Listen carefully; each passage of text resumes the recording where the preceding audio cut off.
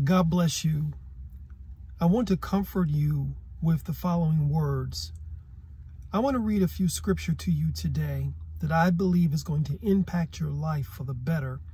It comes out of the book of Romans chapter 4. As it is written, I have made thee a father of many nations. Before him whom he believed, even God, who quickeneth the dead, and calleth those things which be not as though they were, who against hope believed in hope, that he might become the father of many nations, according to that which was spoken, so shall thy seed be. Now pay close attention.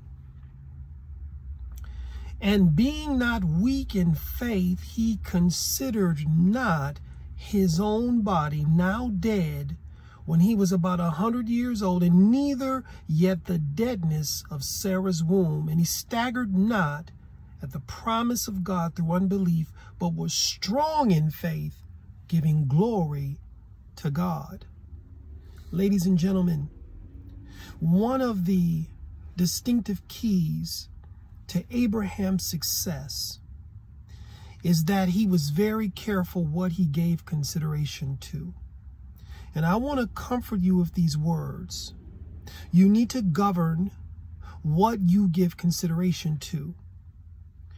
And when you govern it, and by governing, I mean you have to be very careful what you allow your attention to be applied to. Your attention is a valuable commodity in the kingdom of heaven, but it's also a valuable commodity in, for the kingdom of darkness.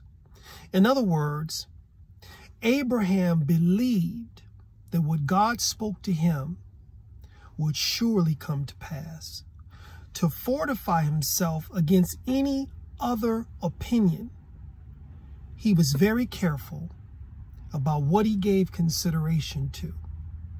And too often, many believers give more consideration to what's against them than what's for them.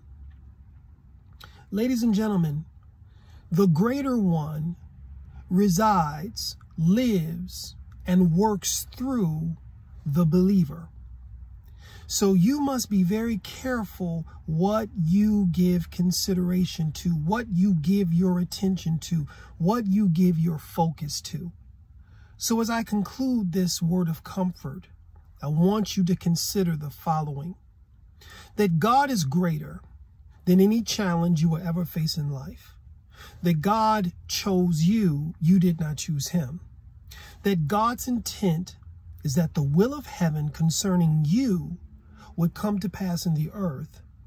Your natural physical birth and subsequent rebirth is proof that you are a part of God's agenda. And by allowing you to be both born and reborn through Jesus Christ, it proves that God believes you are vital to the success of his agenda. So, ladies and gentlemen, I want to comfort you with these words.